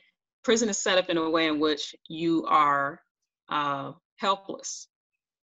You're behind bars. Who's like to try to get someone out of prison to try to get their case cleared to get them the right lawyer, whatever. It is extremely difficult. Helplessness. Coming out of prison, you're wrongfully convicted, you didn't do anything, you don't get compensated or any social benefits, now you're hopeless mm-hmm. because all this time you spent in prison, you get out and it's nothing like you thought it would be. You have no direction. Even those that are uh, released from prison after doing their time, they're set up with what some things minimal, minimal, but they're set up with uh, checking in with someone because they have to about getting a job like constantly. It's like once you're released, they have that, which is very minimal. You're wrongfully convicted. You don't have any of that guidance going back into life for something after being in prison for something you did not do. You're owed and they owe you a debt and they're not paying it. And instead, you're paying a debt. Right. Mentally, you're paying that debt. Physically, you're paying that debt because you're you are nowhere near what you would have been by being out of prison. Right. Thank you, Ally. Um, I have a message, everyone, I want to play.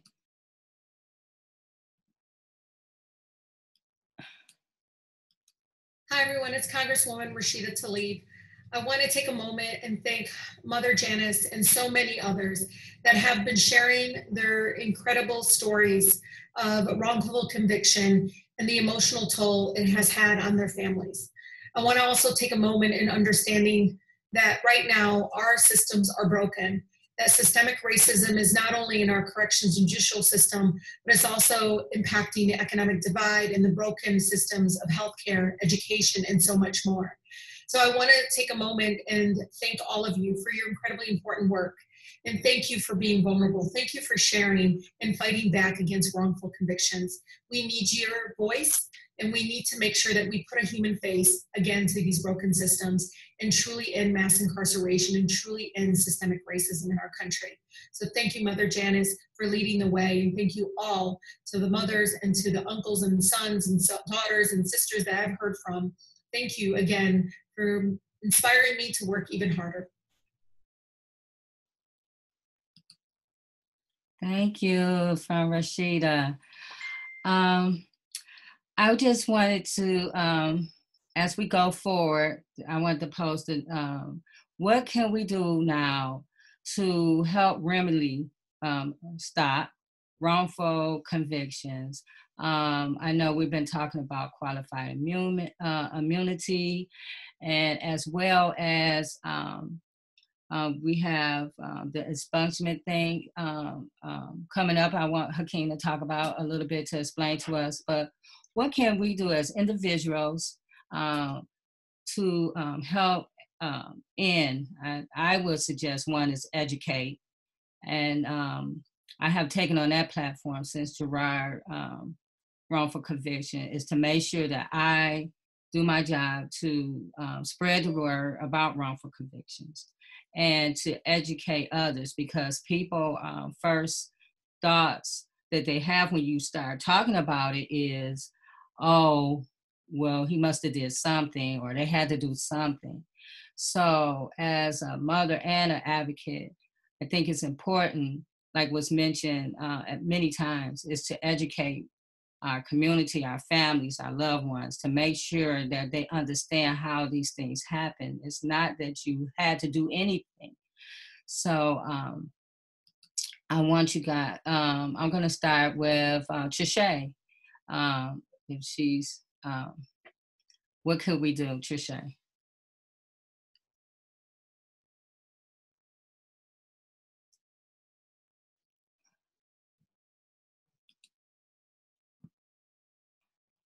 Okay, I don't see Trische. So we'll start with you, Ally. okay.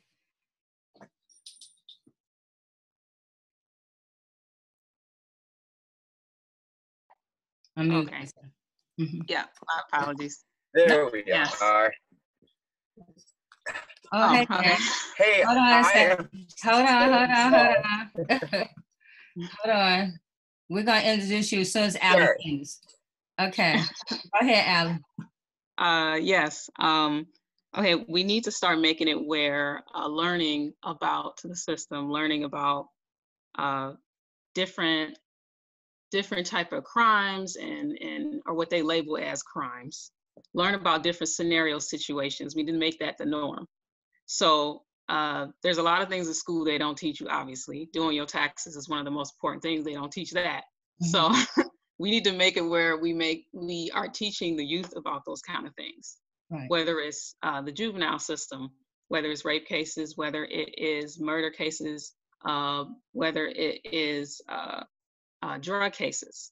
Um, prosecutors and police officers a lot of misconduct that they do contributing to wrongful convictions happens in murder cases and drug cases. We need to start learning about those things that are most common to prevent those things from happening to us we also need to learn about uh, the different caseloads that lawyers have. Um, a lot of the time, our cases that may go over their counter is just paperwork. It's not paid attention to as much as it should because they're being overworked. We also need to know about, um, uh, you know, as evidence comes along from the other side, we need to immediately get a hold of it. You need to keep those things in mind. You keep the wheels turning in your brain um, with these kind of things. Start paying attention to cases that go national, um, things, even if it's not pertaining to you, this is a fight that involves all of us. Right. And it can happen to anybody because incarceration has become the norm and it has been the norm for so long. Mm-hmm. Um, we also need to, we can't take for granted that we can vote prosecutors in. Not all countries allow that. That's not a normal thing that just around the world does. So we need to take advantage of having that mm-hmm. and learning about these judges, learning about the power that they truly have. Right. So I just I want to um, break away for two seconds because Gabe came in and I want him to introduce himself and um, Gabe, um, turn on your mic and let, introduce yourself and tell us what it is that you do because everybody don't know.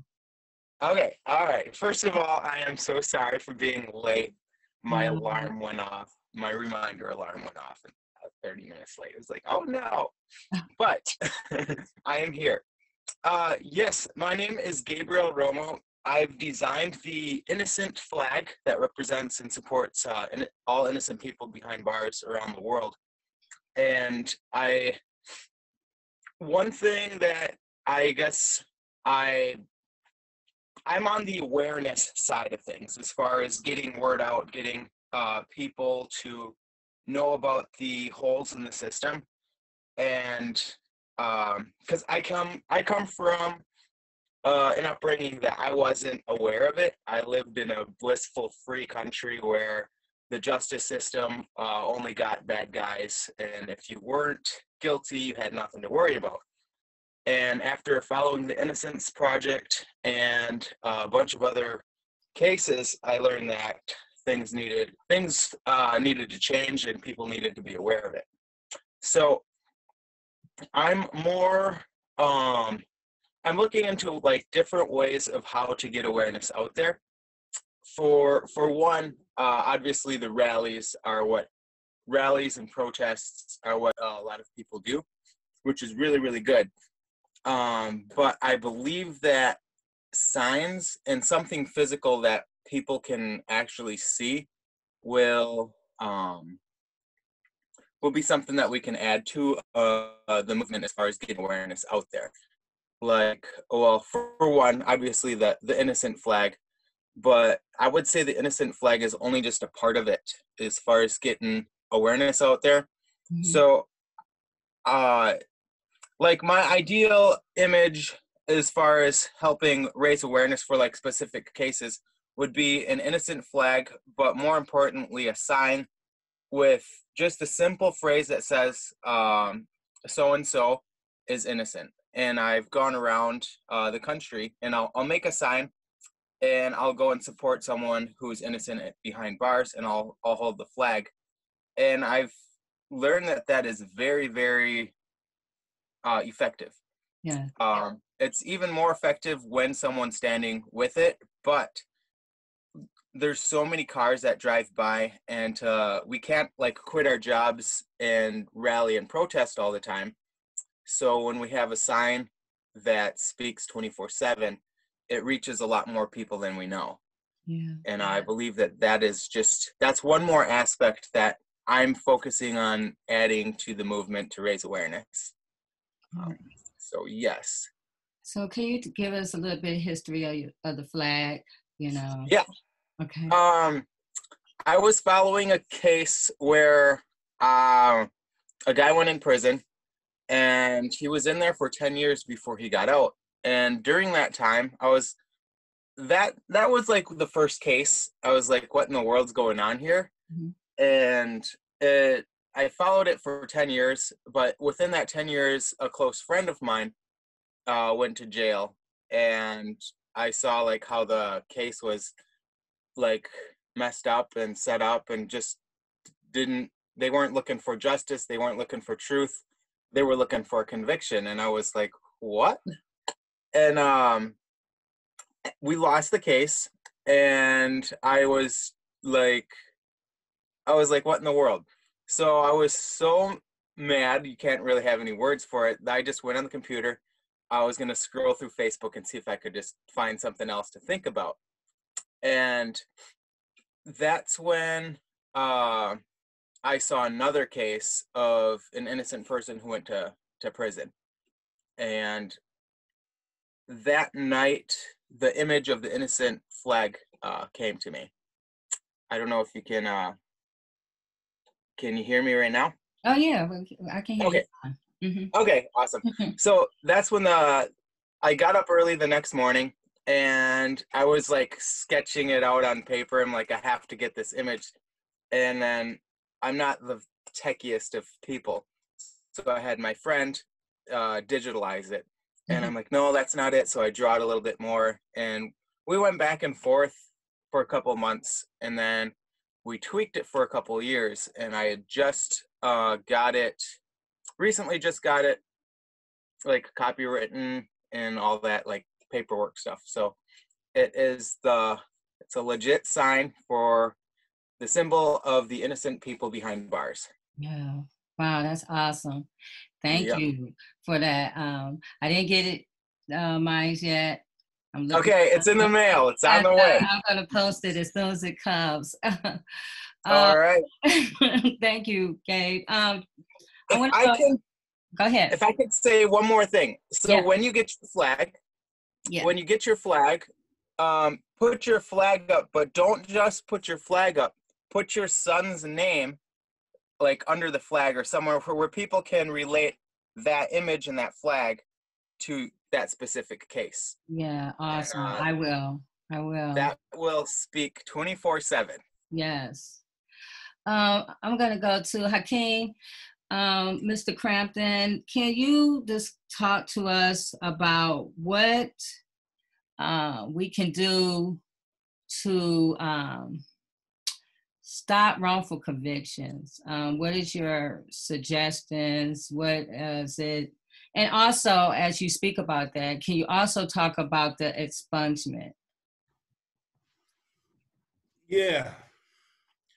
So let me start on the back end to connect it to the front end. Okay. Uh, the back end, which refers to uh, felony um, expungement, which Drew Allen was referring to earlier uh, about the fact that he had two or three felony convictions, was only entitled to get one uh, set aside, and therefore still had two. And you know what benefit would it really do?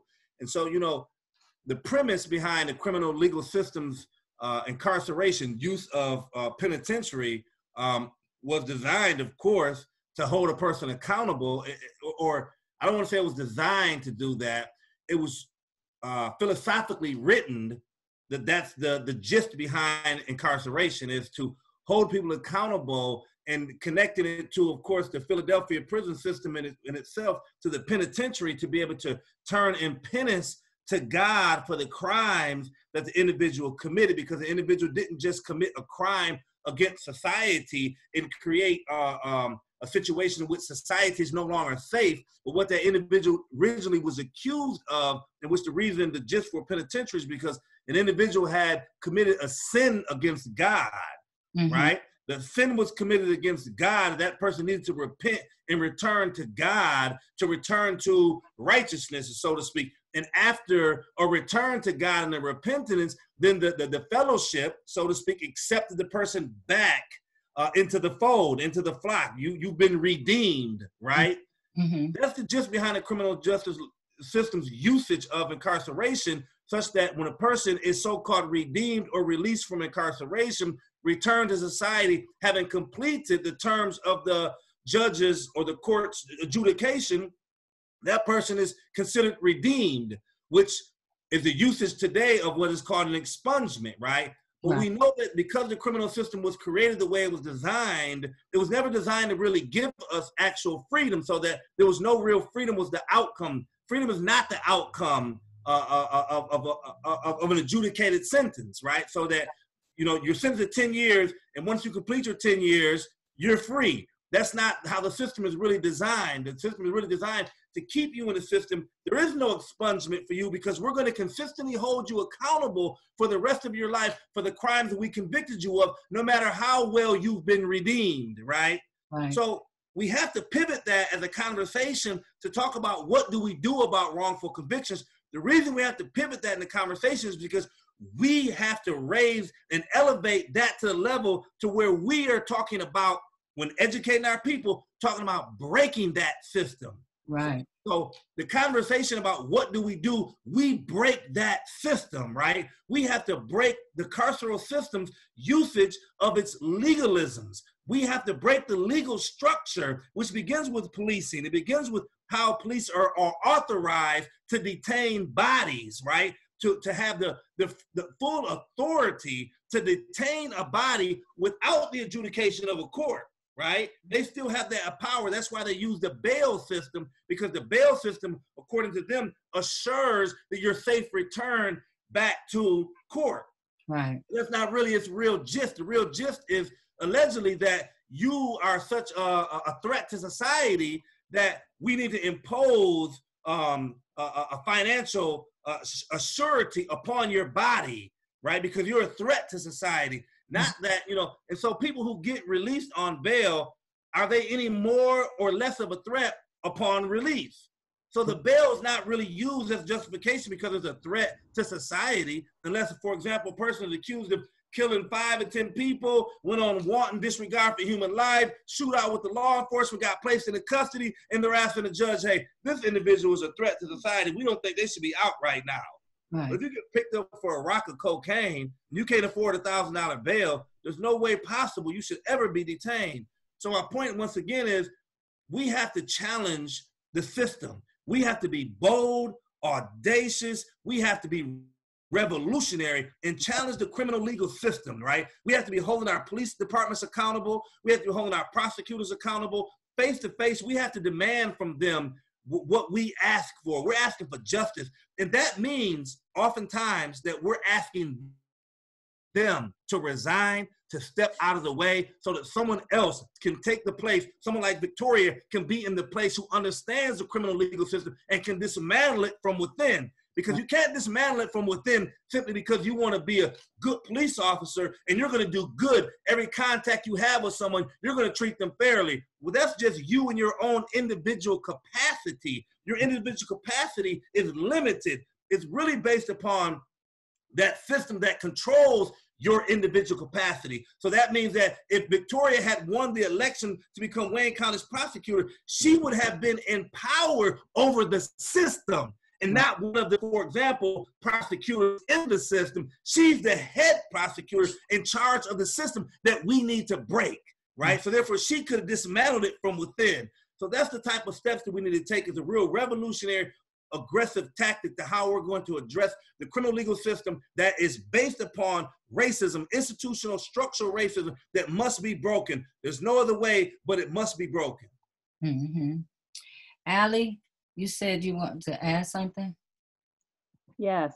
Um, just, you know, hearing him talking about being revolutionary, being bold, you know, one thing I definitely wanted to mention, we got to stop talking about just reforming it. It's right. changing it, redoing it. Right. People don't like to hear that word abolish, but everything we're talking about now is about abolishing it. Yeah. So we have to defund the police. That has to happen. If they truly care about the community and want to say they're trying to keep us safe and all of this, you know, then they'll put more funds into the community. Right. Dearborn, for example, 43% of the budget is reserved for the police officers, and that is not right. Right. We have to start challenging these departments, these city council people, and in our com- small communities, and then uh, broaden that completely out. You know, wrongful convictions, that's the other side. The right. entry area is the police officers. Right prosecutors and the police biggest contributors to wrongful convictions. Right. We got to do it on both ends. Right.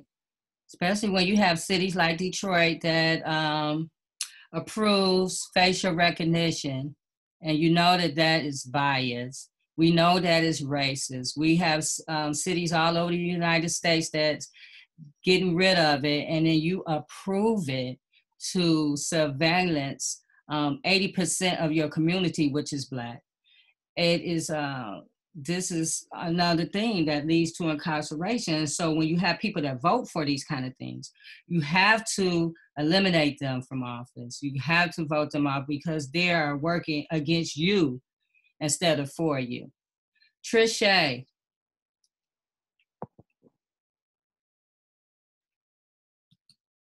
Touche. She's gone. She's not even on the line anymore. Oh, okay. We'll go over to Tia.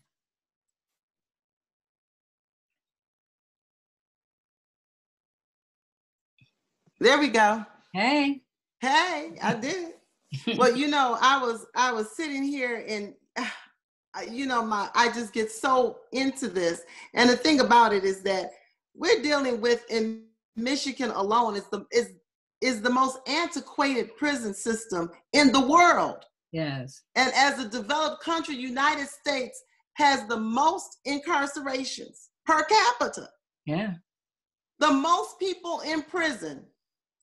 And we are the ones who prosecute the youth, try them as adults, not like any other country. So, to me, as a developed country, we're acting as if we are not developed. And at some point, we have to address the ignorance of it all. Mm. And no one wants to talk about being ignorant, but this is this is pure ignorance. You know, for for people to behave in such a way, and the thing about it is, they're going according to a mental pattern that is in their mind historically. Yes. Historically. Yeah and they're continuing in that way. The sad thing about this is that as a people, we're responding with fear. That's why they that's why they they voted for facial recognition. Because they're running around afraid. And they don't know they they have not been taught. You know, we're on it, we're not being educated either. Right. You know, and, and education, I'm not talking about book smart. I'm talking about just pure knowledge and wisdom that you get from the community. Mm-hmm. The other thing we need to do that's really going to fight it is economically, we have to come together with some economic power to back the people who are for us. And we have to know how to put our money where our votes need to go. And we're going to have to begin to reallocate monies to mm-hmm. come together for humanity. Right. That's this, you know, because it's it, it's a black thing, but it's not just a black thing. Right. You know, it, it's it's people who who are in need. If you look at people who are being incarcerated, these are people, a lot of people who who are who are are economically at a disadvantage. Right. So we can do something, but it's going, you know, it's going to take education. It's going to take some economic power. Absolutely. Trische. Uh, I saw. Yes, her. I apologize. No. I uh, had to switch. I see you in the car. Yeah. So, um, the question is, what are what are we going to do about it, right? Yeah. And there's no easy answer. There's no easy answer because if it was an easy answer, we wouldn't be dealing with it at all. Right. Um, but what I do understand and know is that we need to mobilize. Mm-hmm. We need to organize. We need to do something that's hard for us to do as a people and stand together. Yeah. Mm-hmm. We also need to be clear about what the agenda is, okay? Yeah. You have, when these movements start, you'll have the lowest hanging fruit, I call it, which people pick. The lowest hanging fruit is not always an answer to the plight of African Americans. It's always that easiest thing. So if you got ICE, deportation, um, if you have women's rights, if you have something else, people always seem to choose those um, fights. But when it comes to fighting for justice and these injustices that we face in this system, most people don't want to do it. And the reason why is because this giant looks so big. How do we fight something like this? We fight it together. Yeah. We fight together, we win together. Yeah. There's no other way. And we have to understand we are all different as a people. While we are one race, many different perspectives. But how do we bring that together in a collective and work for the greater good? Mm-hmm. And I if we lay down our own personal agendas, come together with a clear mission, then we can get some work done. Mm-hmm. We're not going to be able to uh, rid racism out of people's hearts, but we can doggone sure put laws in place that hold individuals accountable for stepping out of line. Mm-hmm. Stop being scared to challenge the status quo. Yes. I'm gonna tell you something. I don't care nothing about your business as usual. We are interrupters to business as usual. Yes, ma'am. That's what we need to do. We need to keep interrupting. We need to keep showing up. We need to keep having rallies. We need to keep protesting. We need to keep doing all of these things until we see change. Yeah. If we get mad because something happens to one person and we come out, we rally, we march, and then we walk away, we're doing an injustice to the fight. Right. We got to play the course and do the afterwork. And I believe justice is going to come with the afterwork. Right. Because you can't find change in comfortability. You got to be uncomfortable. Very uncomfortable. Yes, I agree 100%. Uh, Lisa. yeah, well, I agree with everyone else, what everyone else has said. I, I, I truly believe it, it's, it's all about that dollar. I, I really, really do. And I think if we could come together and we and just like it's been said shift our money where it should go and, and you know um, i know when mr floyd had lost his life uh, i had heard about a day where no one was going to spend any money and then i didn't hear any more about it you know and, and really that's no matter who you are what race you are it's really about the money mm-hmm. you know we came together and, and we made a choice like hey you know this is it we're not going to spend our money we're not going to do this. You have to listen. You have to make some changes. So I, I believe and agree with everything all of you are saying. I, I I'm really truly thinking we are the team. Yeah. Just going. Yeah. so, yes. Thank you, Lisa. Ally, what was you wanted to add? Yes. Uh, no. Um, Trische, no, I agree with you about the, the agenda. The agenda's got to be clear. It's got to be clear. It's got to be clear because Black people, we can get lost in this pool of just everything that's going on. Mm-hmm. People have to be okay with saying that this is about Black lives. Mm-hmm. This is what this is about. If you stand for justice and want people to be free and have the best life in the world, then you should be okay fighting that fight.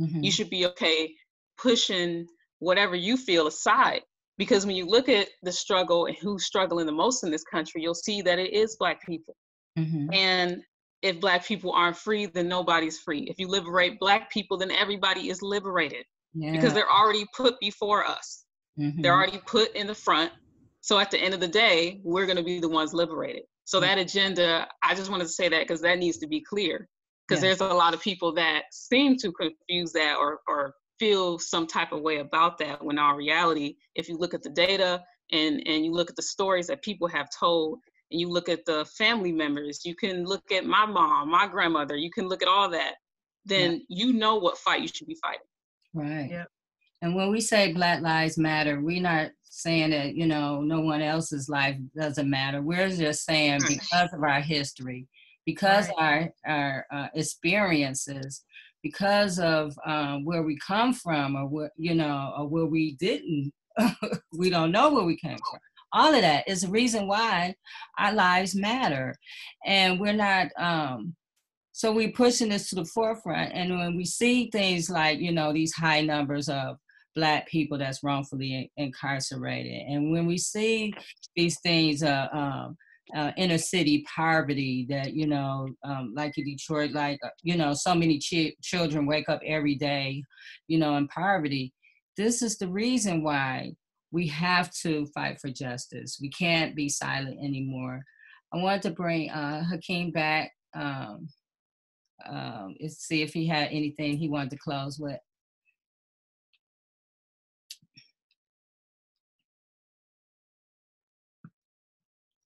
He's not on. Oh, he's not on. Okay, cool. Um, so we're gonna close out. Um, Tia. Tia. Tia, turn your mic. There we go. Okay. so give us some inspiration to close out with. You know, I I just was sitting here thinking that if we could get collectively every person in a community to give $2 a month, just a month, do you know how much money that would be towards a candidate or towards lobbying for what we want? Right. And we can increase that because I'm just saying that's just a small amount. Mm-hmm.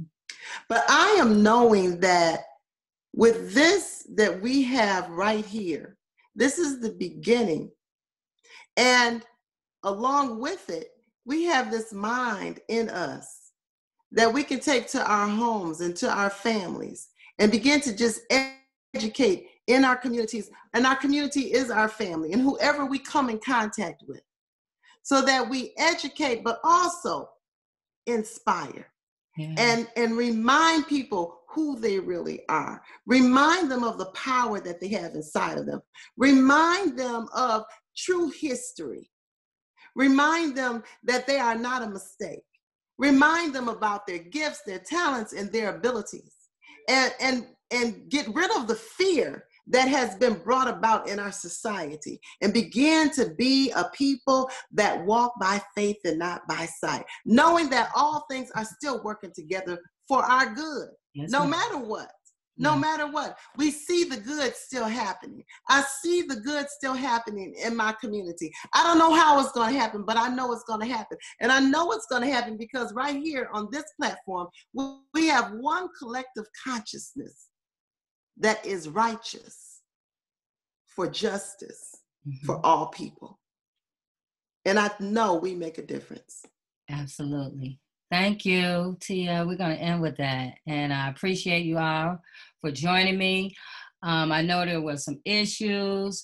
Um, I'm going to tweak it out and we could do it again maybe next month or continue this conversation because I think the more we um, focus on um, the issue, the more we focus on the solution, the more we can solve the problem. We know what the problem is. Now it's about focusing on the solution, trying to get laws and policy changes so we can um, move forward and not have um, people wrong, the innocent people like Gerard wrongfully incarcerated, like Stephen, like um, um, Charity's fiance, like Drew. You know, we have to um, focus because no matter what, we all are one. So I thank you guys, love you all, and um, I appreciate you. Thank you. Okay, thank you so for putting this together. Oh, Thank you. Thank you. Thank you.